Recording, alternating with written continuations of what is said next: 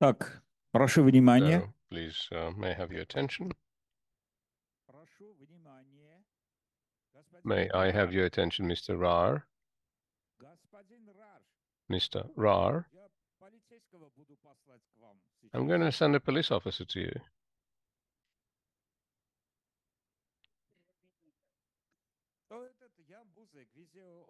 And that's uh, Jan Buzek's fault. So, Mr. Buzek, please uh, resume your seat.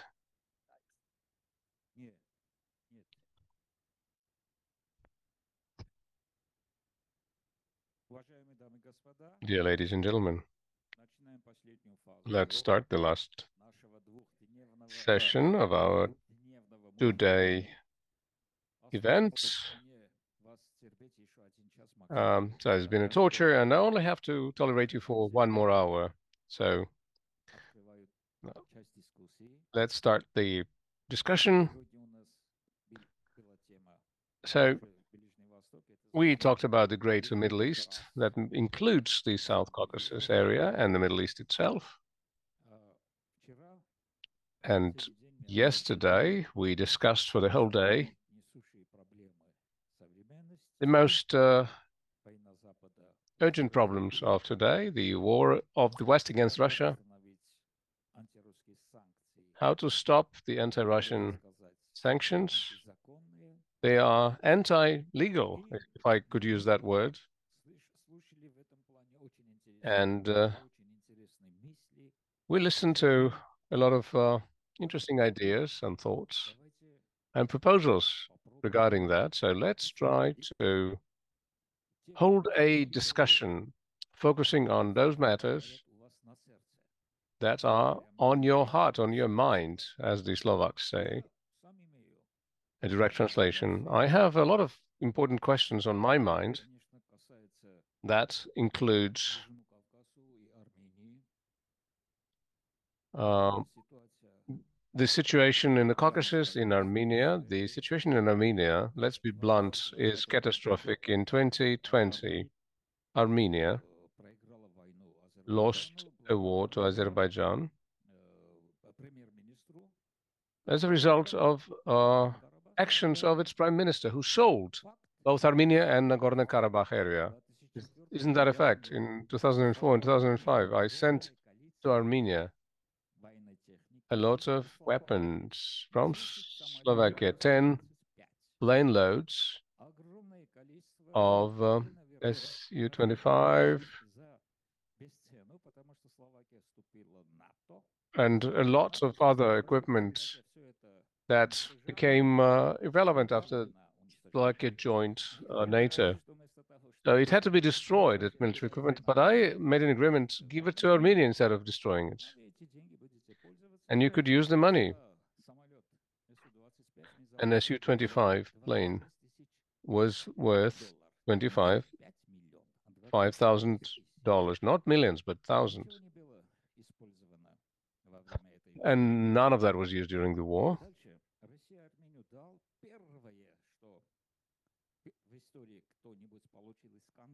So uh, Armenia got the first Iskander. It was not the, the Russian army that got the Iskander, but the Iskanders were not used. A couple of Iskanders would be enough to stop that war if they were put to use. Then Armenia bought uh, uh, S-300.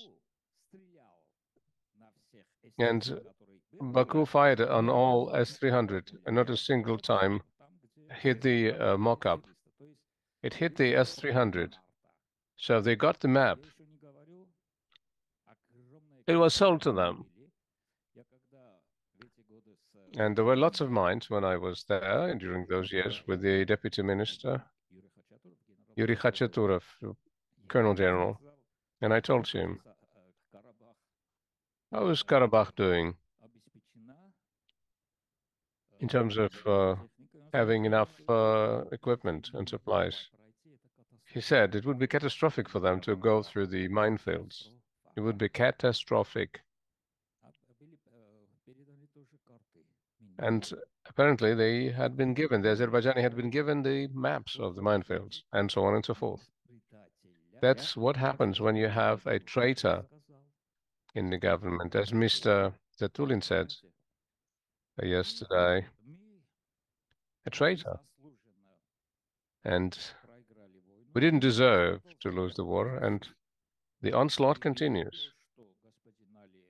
And everything that Mr. Aliyev is asking for is given to it by Armenia.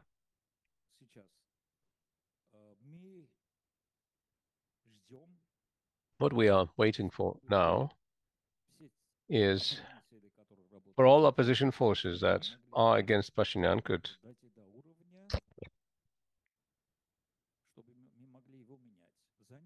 get to a level where we can replace him, and he's backed by the West very seriously.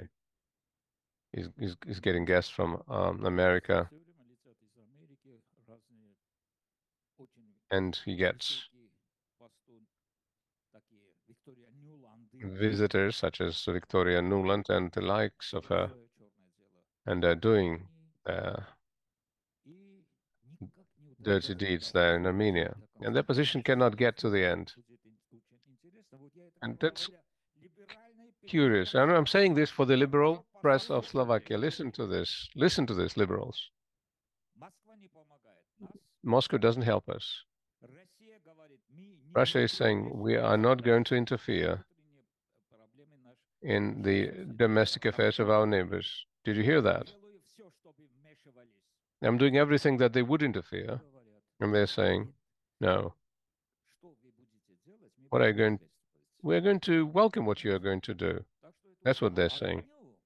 So, so all of this talk and chit chat that Russia is an aggressor, that it immediately interferes in the affairs of others. Russia respects Azerbaijan's domestic policies and affairs and Armenia as well.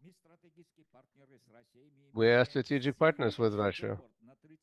We have a 30 year agreement, a very strong one with Russia where it is supposed to help Armenia if there is aggression from a neighbor. And they keep that, but they're saying, while your relations are okay, we are not going to interfere with your affairs in Armenia. So unfortunately, this uh, situation inside Armenia continues. 10 million Armenians uh, live in the world and 7 million are abroad. 7.5. I don't even think that 3 million live in Armenia, although officially that's the number. That's the population. And uh, the whole Armenian diaspora is backing Armenia, which is against this terrible leadership of the country. Good for nothing. People had, that had done nothing in their lives. Pashinyan is a journalist who didn't finish the university, didn't graduate. He's a journalist, a loser. And I don't even want to talk about the others. And I give the floor to uh, His Excellency, Mr. Prime Minister. Thank you.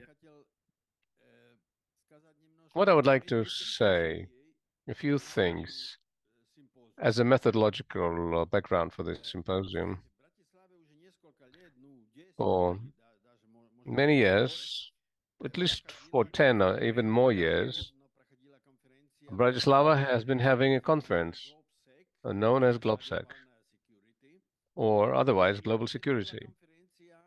And that was a conference that was very much in the spirit of uh, political correctness, PC. And the things that were said at the conference were all PC. Uh, there were a lot of interesting facts that transpired during the conference because this conference is organizers every year prepared polls across many countries in Europe even on uh, foreign policy issues. And it emerged that Slovakia and Bulgaria are relatively or very pro-Russian. This year, the new government, the government of Fico, said that it is not going to budget this conference, to provide money to the conference. And now the conference is gone from Bratislava. It went to Prague. Right. The Czech government is probably providing them with the funding. That's okay. And uh, you can see from this symposium that this symposium is quantitatively cannot compete with GlobSec because GlobSec was a large-scale international conference. However, our symposium is is free and freer than GlobSec because here you can talk freely and look at things freely. Look at what's going on in the world. So that the global majority can be said that it is uh, stronger, much stronger, so that the West can no longer dictate its will to the rest of the world. That's how much stronger they had gotten. And uh, our symposium wants to continue being like that, that free in the future. So we are going to invite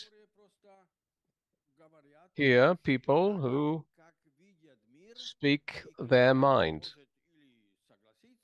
And you could argue with that, you can agree with that, that's up to you. And that's how you can picture what is the real state of the world at this juncture. And we're really thankful to all of you because many of you have problems in your own countries, and you are able to talk about what you think about that, what you believe uh, is right, what you believe uh, is the truth. And we want you to be able to do here, to say that here. We are very thankful to you for coming here and for saying this here. And that allows us to build a proper picture of the world, what's going on from your country's perspective and based on your country's experience, based on what's going on in your country, so that we could continue. And uh, we would uh, thank uh, you for helping us with organizing such kinds of symposia in the future, so that you and people like you could come to Bratislava to ensure that uh, Bratislava's standing uh, and image would not be built by the conferences like GlobSec, political correctness, and uh, and by the political, so that it is politically true and uh, uh, honest. Thank you very much for saying that. Uh, you're absolutely right. GlobSec was uh, one-sided and in, in a way catastrophic. Uh, definitely not Slovakian event. They uh, used the uh, power of the dollar very uh, well, very artfully, but now we are pro promoting anti-GlobSec. Mr. Rahr, or did you want to say a few words? Yes, yes, of course. But please use the microphone and ensure it is unmuted. Um, I would like to avail of the opportunity that we have a, number of distinctive experts united around the table and, and online to just get back to the idea of the security architecture, which has been discussed here uh, today and yesterday. And I mean, we identified a number of reasons that contributed to the conflict in Ukraine. The, the fact that the European space is divided into two military alliances, um, the deconstruction of the existing security architecture, um, and uh, the end of the Pax Americana and the, the uh, establishment of a new international order. now, when we look at the, the, the, the conflict in Ukraine, then there have been a number of initiatives that have been developed to um, end the conflict and to, to stabilize the security situation in Ukraine. And, and over the time, the, the focus of these initiatives has widened. I mean, in, in 2015, in February, Minsk II was a very regional focus. I mean, uh, uh, it said in the one-page uh, agreement that there should be a special status for certain regions in eastern Ukraine. Um, now, when we look at December 2021, the Russian proposals um, to NATO and the Americans, I mean, they very much based themselves on the existing situation in Europe. They said, okay, NATO Eastern expansion has taken place, um, but we don't want any further expansion of NATO. Uh, we certainly don't want to see Ukraine and Georgia included into NATO. Um, a few months later, um, during the discussions between the Ukrainians and Russians in Istanbul, um, I mean, they also based themselves on the existing structures. Uh, they said, okay, Ukraine should not become a member of NATO. Um, now, in 2023, when the Chinese made their proposals, I mean, they widened the focus uh, again. They said, uh, as one of their points, uh, Europe needs a kind of new sustainable security architecture, um, which goes much beyond, I mean, what has been discussed before. Um, and now, more recently, um, we had uh, the speeches by Russian President Vladimir Putin um, to the Federal Assembly and a week ago to the Ministry of um, Foreign Affairs of Russia. Um, and there he outlined the idea of an Eurasian security architecture. Um, so he said he had discussed it with the Chinese. It very much integrates with the Chinese idea of a global security initiative.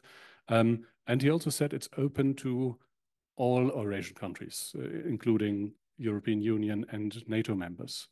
Um, and so I just wondered, I mean, uh, as, as, some of you uh, will certainly have followed, I mean, this debate, I mean, what is the current state of this debate in Russia and in China?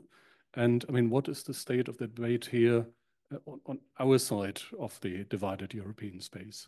Uh, because when we go back to the 1990s, I mean, we had a debate of a common European house with Russia. Uh, there was somehow the idea of integrating Russia into like our system. Um, there was also the idea to say, okay, if the Warsaw Pact doesn't exist anymore, we maybe don't need NATO anymore, or at least it shouldn't be the main pillar of European security. We can maybe develop the OSCE further. And now the debate is a very different one. Uh, now it's a Chinese, Russian, Belarusian initiative that somehow wants to integrate Central and, and Western Europe. Um, and I mean, uh, a few weeks ago, we organized, uh, our Eurasian Society organized an event in Berlin, and we discussed the situation in Ukraine.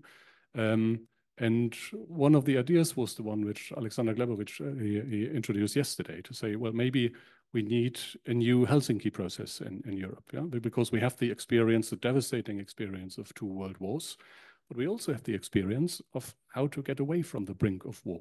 Uh, I mean, how to get together to discuss problems in Europe and to find solutions. Um, and uh, I mean, may, maybe it's, I mean, the right moment now, I mean, it's very late already, but still the right moment to, to get together again in Europe to discuss the problems which we have. Um, maybe, I mean, Bratislava or Budapest would be good places to meet. Russians might be able to come here. I mean, uh, people from all over Europe can participate. And um, given the fact that the uh, Helsinki Accord was concluded in 1975, I mean, next year is the 50th anniversary. That would also be a symbolic somehow date to say, okay, by that time, we somehow want to uh, have a new process on this. Um, but in the, in the absence of such an initiative here in Europe, um, to put it in the word of uh, Mikhail Leonidovich, I mean, um, are we still sitting at the table when the new security architecture is being discussed? Or are we somehow well, losing the, the role of a subject and are more merely becoming an object that is being like integrated into a new structure?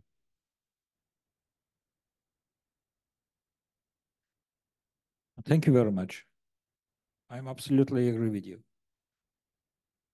It's absolutely true what you tell us now. Я хочу спросить сейчас I would оста- like to ask the other colleagues of mine. Would anybody else uh, to add something to that? Irina, Alexander Rahr, you're welcome.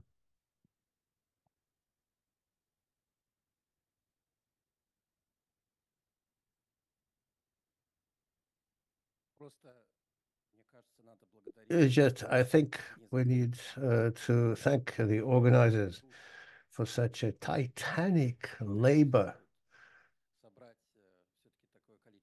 uh, to bring together uh, so many experts and uh, to uh, bring together uh, so many exciting thoughts and ideas, and of course to express a wish that the Bratislavan peace process should keep developing and expanding so that we uh, shouldn't be paying so much attention at the liberal press who would be standing in the way. But uh, just uh, in line with what West and Russia really want now, uh, judging by Putin's uh, considerations, to uh, start this process, presenting this idea. In February, we didn't have this prospect. Now, after what happened over the past few weeks, I think uh, this opportunity, has appeared. So it's important that this process uh, should keep going. And I uh, would uh, support uh, what my colleague said. We need to learn now as researchers, as scholars, as politologists, to start thinking about what kind of Europe we would like to live after the Ukrainian uh, conflict is finished. Not only the Ukrainian conflict, but also conflicts in the Gaza Strip and anywhere anywhere else. So, what kind of Europe is it going to be? Nobody uh, seems to be discussing uh, that, and I think that a research venue just like ours uh, should be able uh, to make the relevant conclusions, not in the media. Uh, so while everybody is still fighting, we have to think: what will happen to Europe? Will do we want Europe uh, to be split again? Uh, I don't think so. But maybe uh, the process has gained so much momentum that we won't be able to stop it. The forces will be about on parity, on about parity, and what uh, couldn't uh, have been uh, imagined three years ago, uh, the vast uh, remilitarization of uh, Bundeswehr in preparation for war. that has been openly stated by the German Minister of Defense. And just listen to what Macron is saying. This will be a way for us tearing Europe apart again. Uh, one needs to stop somewhere, uh, regardless of any arguments they're putting on the table. So they're to blame, or these people are to blame. But how to stop the situation? I don't uh, have uh, any idea how it can be done, but sooner or later, I mean, every crisis uh, comes to an end with some trade-off. But how, uh, what these compromises are going to be going to look like? I'm very much curious about these questions, and I would very much like us uh, to, you know, draft some joint publication, discuss this, not just discuss it like here with the Russian co- uh, colleagues. So in Europe, we do you don't understand anything, and in Russia we have our own problem. No, no, because of course this is a way to talk again, but. Uh, this is not the best way for a compromise. We just need to come out of this catastrophic situation. So uh, it's like five minutes uh, to 12, if 12 is the time of war. Uh, thank you very much, Mr. Rahr. And uh, who shall I give the floor to? Yeah, my plan is like this. Keep working uh, with uh, Premier Fico, with President Pellegrini our partners uh, will be helping us in Bushpal and others. And finally, to uh, achieve that either in September we could call President Putin plus uh, some other major players, and this is your idea, Alexander, we could organize a meeting between Putin and Trump. That will help Trump a lot to win his election. Because if they are able uh, to reach an agreement that they uh, will uh, reach a peaceful agreement around Ukraine promptly, that would be a real gift to the 8 billion strong world. And then uh, we'll come back uh, to these issues. Mr. Kamel, you're welcome. Uh, I just have a comment uh, to what Alexander Rahr said.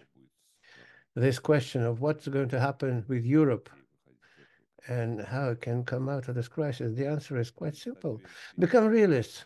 Stop believing in fairy tales uh, in Russia. Do you think we, we're talking about Europe specifically? No, no, no. I mean this European Union. No, no, no, no. I'm not trying to uh, tear it apart. The European Union, EU, once the EU stops believing in fairy tales, uh, myths, that uh, they thought of themselves or somebody imposed on them. When they stop looking at the world without pink uh, spectacles, uh, everything will become right. Uh, took at Fico as an example. They, the people just took off uh, the pink eyeglasses. And then uh, we'll be able to discuss Europe from Lisbon to Vladivostok once again. So in this relation, we agree uh, with you, Alexander.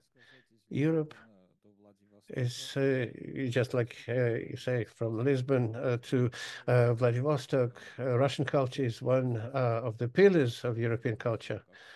And I uh, said yesterday uh, that uh, you will find a problem trying to find a democratic country like Russia in Europe. They're blaming Russia on being a dictatorship, but uh, look at yourself, uh, how you work with people calling yourself Democrats. So in this respect, I absolutely agree uh, with uh, Mr. Kamel. Uh, take off the pink glasses. Uh, that's a white saying. Please take off the pink glasses, ladies and gentlemen, from uh, the EU. Just listen to what Vice, uh, what President Václav Klaus has been telling you for seven or eight years ago. This is the end of the EU and the start of something absolutely new. Mr. Buzek, over to you. I just wanted to say, I grew up. I grew up uh, in a in the socialist time and uh, the socialist time, uh, what uh, made it different uh, from today? That was the time when we all had uh, some, uh, you know, guiding stars in life. Today we don't have them at all. We live in a society where uh, the constitution bans ideology. And I, what I can say is that a human, like a Homo sapiens, uh, supposedly intelligent, and intelligentsia, intelligence is based uh, on the ability uh, to build plans. You're talking about Europe, but Europe is about Europeans. And the Europeans don't have their own plan, none whatsoever, or at least, I mean, it's being kept secret from me. So, unless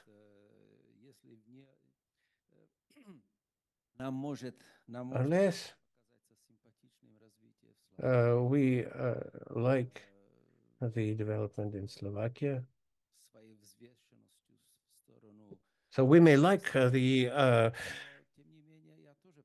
uh, development of things in Slovakia, at least in terms of uh, its uh, unbiased attitude towards Russia, but I, I haven't seen any plan for Slovakia either. Uh, so regarding the human intelligence, no, you should use the. I'm sorry, you use the word intelligentsia, but say in Russian you use the word in, in intellect for intelligence. Anyway, yes, I'm talking about intelligence. So that this intelligence uh, should multiply. Uh, these intelli intelligences uh, should be brought together. Uh, we need a society that is capable of developing this intelligence. And what we see, at least I personally see, all the more so that uh, as a publisher, what I see in today's Russia is, uh, you know, major uh, figures. One person, a historian, another uh, is a healer, yet a third one is an Orthodox uh, priest. All of them are taking this society a bit upwards, each uh, doing their own part. I don't see such figures in Europe, at least in Czechia. What I see is a way upwards only through the definition of uh, some national idea. Thank you. I also fully agree with you. I remember uh, a joke. So a person comes, goes uh, to Rabbi and uh, scolding his a neighbor, and then the neighbor comes to the rabbi, and the rabbi says, uh, "I agree with you as well." And so the person standing next to the rabbi says, "You said you agree with this neighbor and that neighbor. I agree. That can't be. Uh, it can't happen." And I fully agree with you, the rabbi says. So it's just like what I feel right now. I agree with all of you. I am trying to look uh, for anyone here with whom I could disagree, but I don't find. So maybe uh, we have uh, we haven't given you uh, the floor. Yesterday, uh, we had a chairman of the anti-fascist organization of Slovakia, with whom the Vienna Club has plans to work, and he's vice president of the anti-fascist organization, the secretary. Okay, will you introduce yourself? Uh, would you like to say a few words?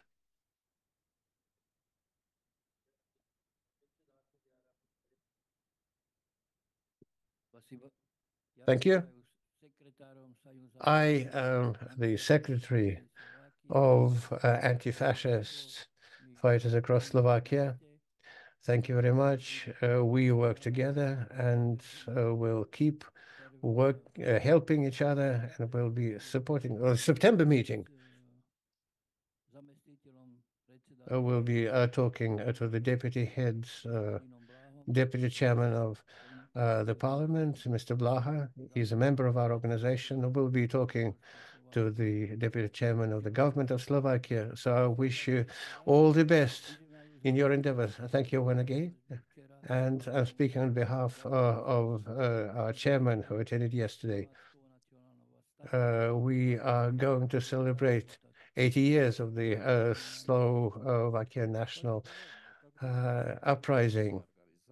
Thank you very much.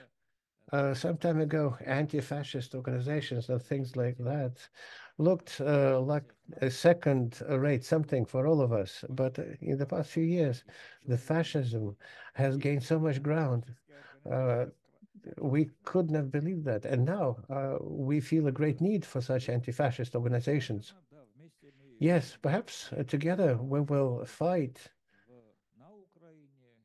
uh, so that in Ukraine and in other regions of Europe. Uh, over to you.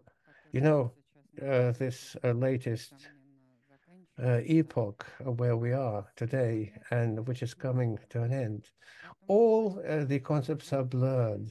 So we're saying Nazism, fascism, but largely speaking, we're referring to all anti-human practices, all those practices uh, that destroy the uh, personality of a human being uh, and uh, identity of peoples, and also the civil freedoms. And now that I've got the microphone, we indeed are looking for ways. I also uh, entitled my presentation as a choice of, as a search for a way, even though I was uh, thinking about the Caucasus. Let's not run too far away uh, from our predecessors. We have several levels uh, to uh, turn the problem uh, into a task. The strategic level, tactical level, and operational level. It looks uh, like, uh, in some strange way, uh, we need to discuss, we have to discuss uh, the operational and strategic levels, but the tactical part uh, is being omitted. And I'm not, don't have clear understanding how to act in these conditions. Uh, considering that the inertia of the old order of things have, has created conditions where it is very difficult uh, to uh, solve uh, problems at the operational and strategic level. It's uh, quite uh, an interesting situation, agree with me, because the, well, in general, we can discuss strategy. Mr. Buzek said, yes, there are Republic as well, intellectuals who would want to discuss that. Uh, not in terms of who's good or who's bad. It's not really serious anymore. But what to do next, and what to rely on, and what kind of system can uh, provide uh, uh security. And by the way, I'd like to comment that uh, with regard to the EU country, uh, food security is not the last question that should be discussed considering, for instance, uh, that Germany cannot provide itself uh, with food. And if, for some reason, the communications uh, can or can uh, be disrupted, I don't even want to, to, to continue. You know, these are relevant operational questions that needs to be discussed. And uh, maybe uh, some of them will not even evoke some overtly uh, negative response, reaction. So to be absolutely frank, I believe uh, that today the most important thing uh, is uh, to uh, act in the right way at this operational level. Спасибо. Я думал, деньги передаешь мне, но... Thank you. I, I thought that you were passing me an envelope with money, and I was wondering how you got to me. Uh, Mr. Chair,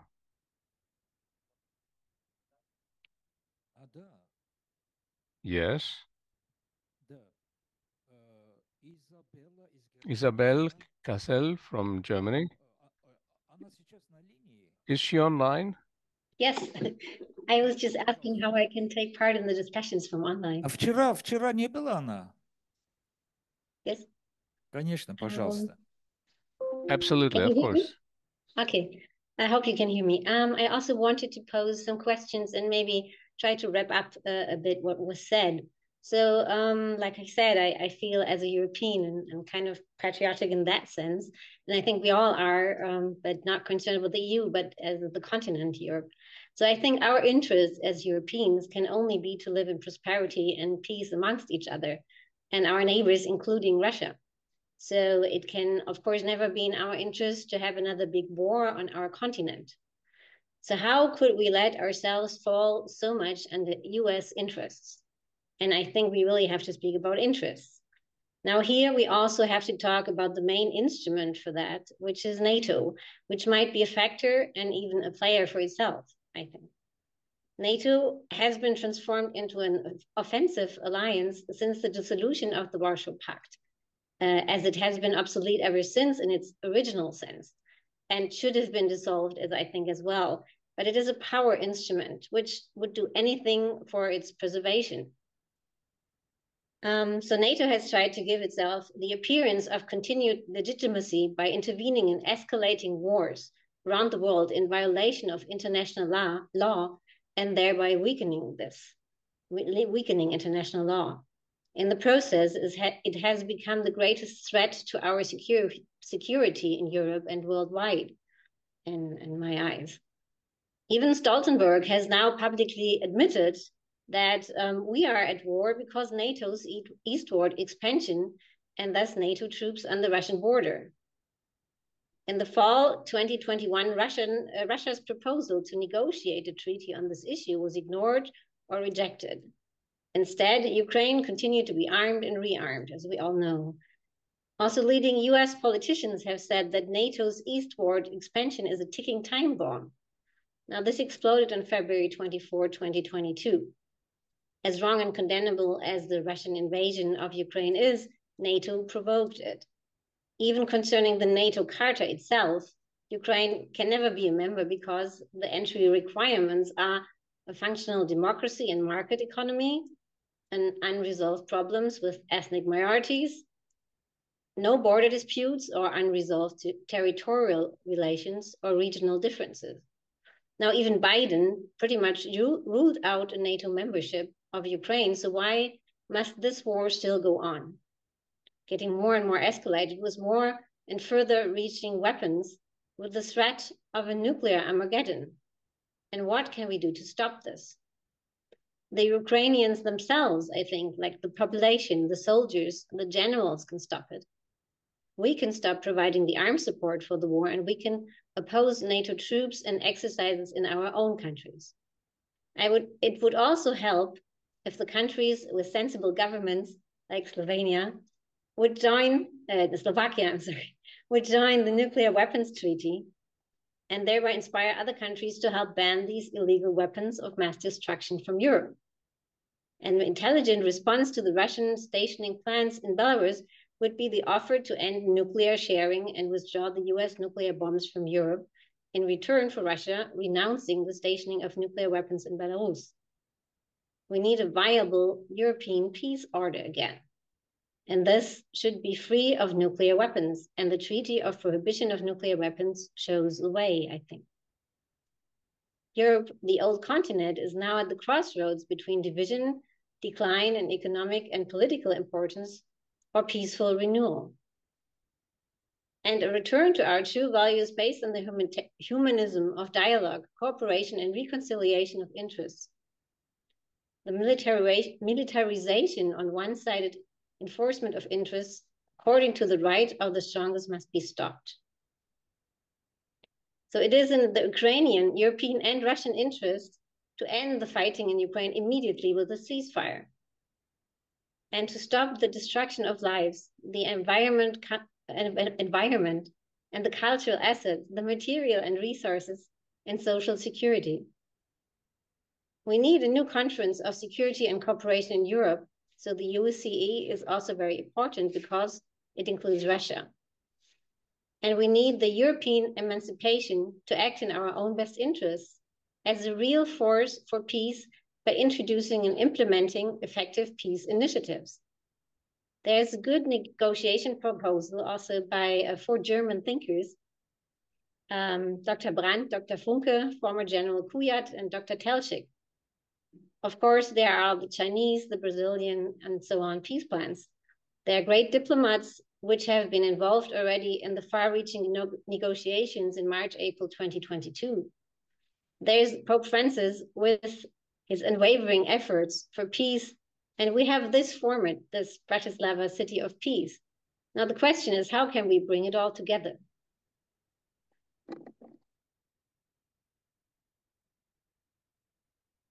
Thank you very much.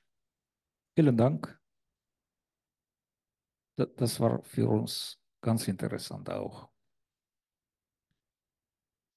Если никто уже ничего не хочет... Unless uh, someone wants to add something, I would like to sum up a few things. All of the points that have been made here for this symposium were approved or complemented by many of our colleagues. And with your permission, I would like to take it upon myself and the Council of the Vienna Club, the first prepare according to this plan, what we presented as for Europe, our ideas and proposals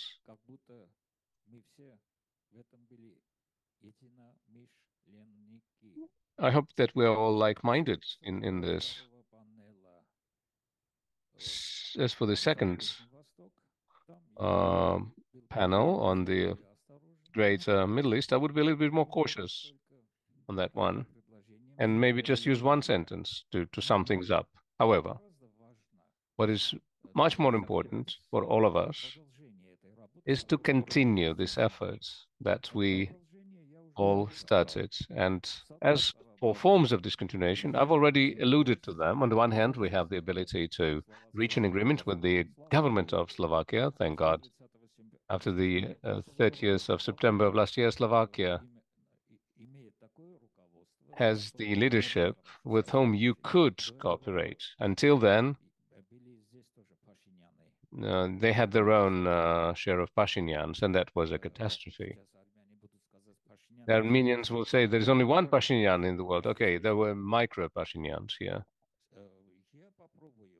So let me uh, try to use my connections, uh, connections of uh, Mr. Prime Minister and others to reach an agreement with the leadership so that we could work together with them ahead of September to develop yet another important symposium that could include uh, participation of uh, Peter Pellegrini and invite to this uh, symposium, and I would take it upon myself to arrange for that. I could even arrange for a visit by perhaps uh, President Vladimir Putin. Uh, of course, this will not be possible without uh, Prime Minister Fico and others, and to invite others like uh, Orban. You just need to make a phone call. And the same goes for Vucic and many others. But it's very important to invite someone from the West. We'll see how that goes.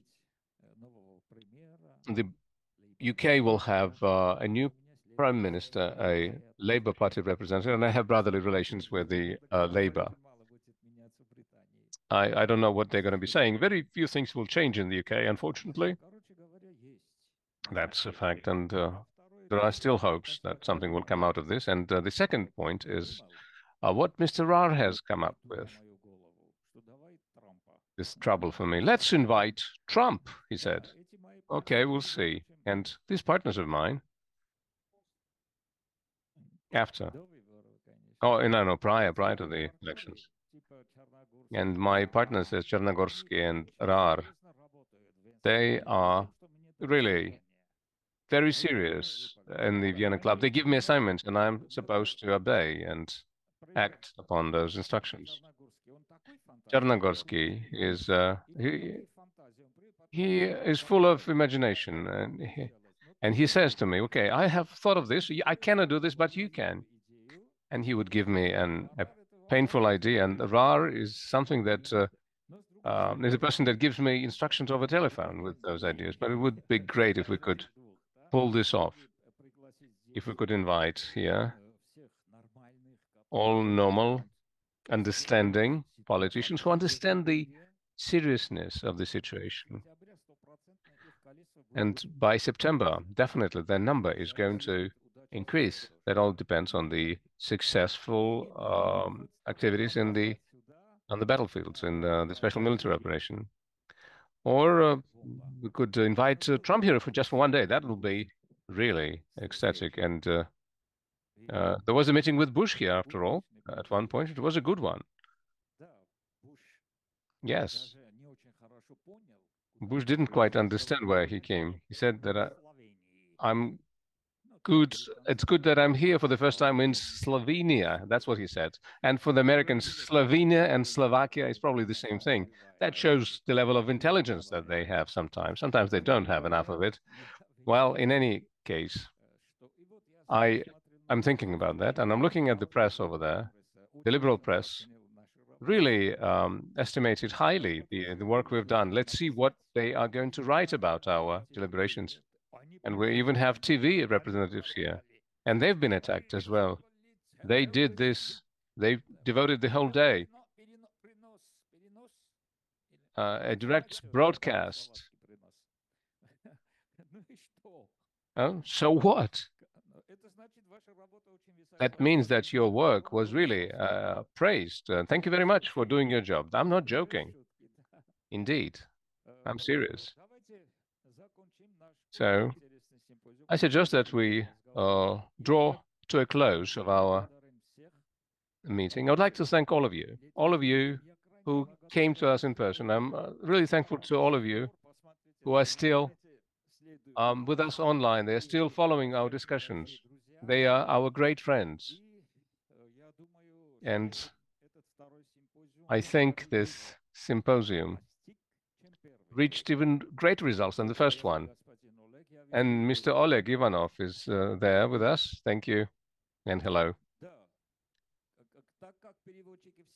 Since the interpreters are providing and interpreters, uh, Karine is uh, asking me to thank the interpreters for their very uh, doubtful work. Why am I saying doubtful? I'm joking. And the, the last time there was a lot of uh, dissonance between me and Jonathan Steele because Jonathan said the last time, as the Ukrainian press writes something, and the interpreters did this weekly, very weekly, we didn't hear that sentence. And then everything he said, I thought it was it was his own words. He was representing the Guardian. And I had known him for 30 years. He is the most objective chief of uh,